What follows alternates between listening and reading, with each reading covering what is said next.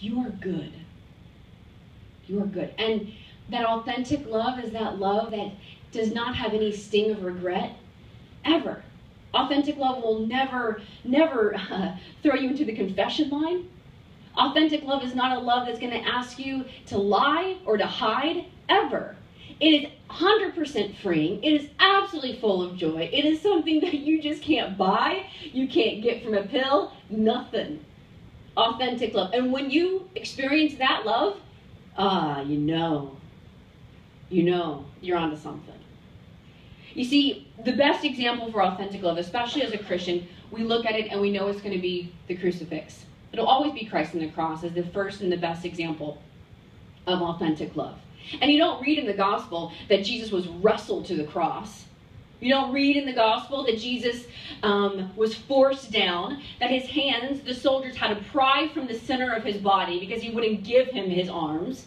No, you read, and if you can think about this and use your imagination, Jesus knelt down on his own volition into the dirt, laid down, turned around, put his back upon that cross. They didn't have to fight him like they did the other two, the criminals on his right and his left. He gave him his arms and he gave him his legs freely. There was no complaining, there was no yelling, and he gave us his body. I mean, all the things that Jesus did, everything that you read about, he taught us, he loved us, he cured people, he brought people back from the dead for the, you know, for love of God. And that's awesome. But the very last thing he did is he, he gave us his body. It's so sad today that when we get into a relationship, sometimes that's the very first thing that we hand over is our body. I mean, that's all of you. Oh. Mm. See, authentic love tells us that there's a right way, that there's a process of how love is formed, how love matures, in the appropriate time. That you would want to give your whole self to someone. You wouldn't want to give your whole self and your whole body to anybody who just says, I love you, baby.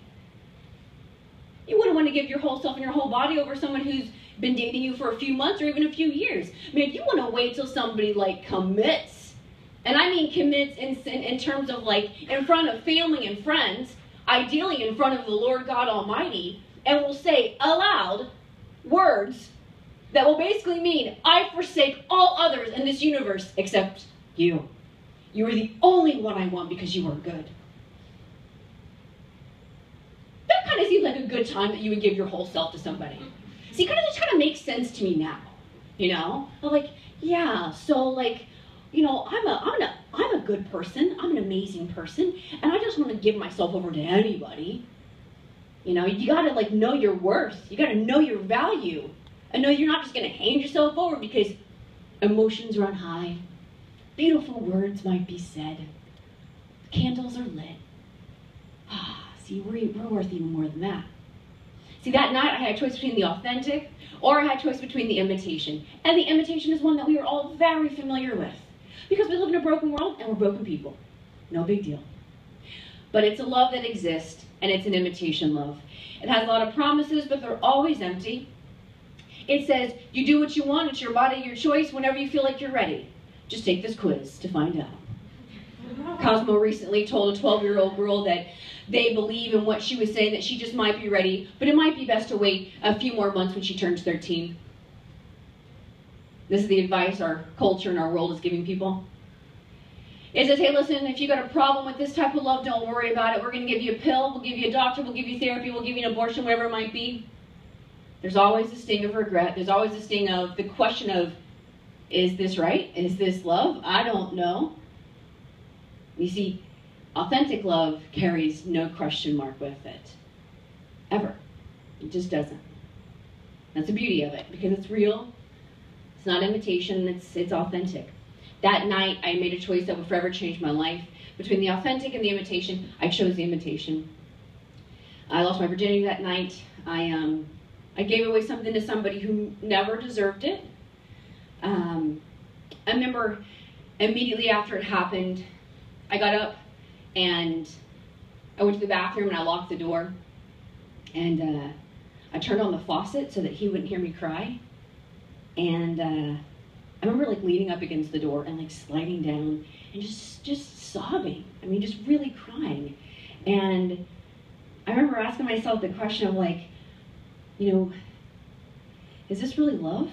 You know? Um, I mean, I really like him. I say I love him, but I don't. I don't know now. Um, and this was a great guy. I mean, he didn't force me to do anything. I made my decision all on my own. I think the fact that I asked those questions probably answered them for me. I think I was so scared and nervous to believe that the Lord won't fail me, even when it comes to the desires of my heart, that I lowered the bar and I just accepted something that was available at that time, you know, and I um, I gave in to imitation love. I gave in to those those that what I thought was going to make me happy, what I thought would make us happy as a couple. It'll make us closer. It'll make us better. I mean, a few days later we broke up, and you realize that's not exactly how I wanted that to ha- happen. You're kind of left with those feelings, obviously, of regret, not just because the relationship ends, but the, the regret that I experienced immediately after in the bathroom of like, what just happened? You know? You see, I think I was so nervous to believe that what God had planned for me was actually my happiness. That actually God cares about my heart. He wants me to be happy. He knows what will make me happy. He also knows what will also make me sad and kind of make me re- re- regret things. That's why he, a while back, came up with those 10 things, you know. Kind of makes sense now, too. So,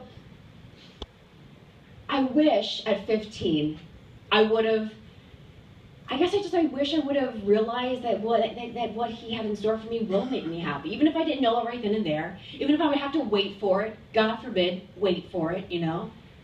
But see, he did, and in fact, what God had in store for me was amazing. My love story that God has and continues to work in my life to this day, it's phenomenal. It's the best ever, in my opinion, for my life, right? But I love it. I love how God has fulfilled that in my heart and in my life and he has made good with, I will not fail you, Leah. I will not forsake you.